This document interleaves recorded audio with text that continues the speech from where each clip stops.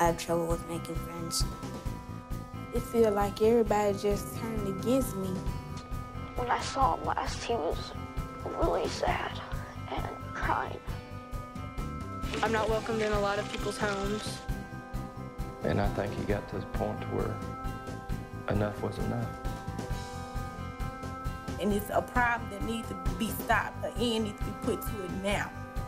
But bottom line here is when you send your child to that school, they should be safe and protected. The teachers just kind of shrug it off as in, like, oh, he done something wrong to that kid. That's why he got what he got. That's a load of daggum crap.